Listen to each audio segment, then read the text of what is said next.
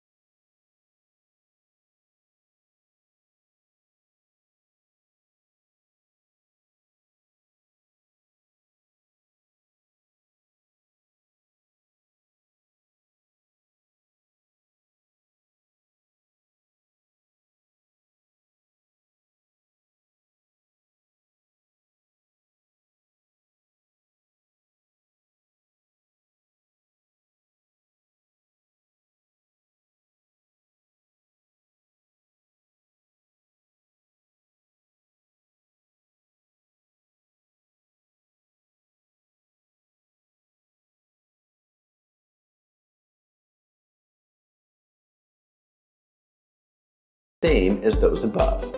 Make sure to check the box to enable picture attachments.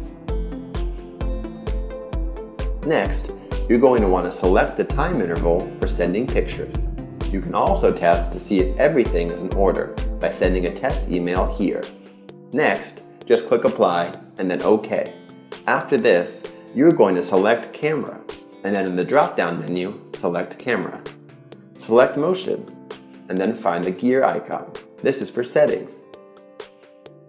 Click it. Select Linkage Action, and then just check the box for Send Email to enable this function. Select Apply, then OK, and then back, and you are good to go. Now, let's check out your email and look at the snapshots you received after motion was detected. And there you have it. Hopefully, now you understand how to set up your email alarms H.264 Plus, and Smart Search function.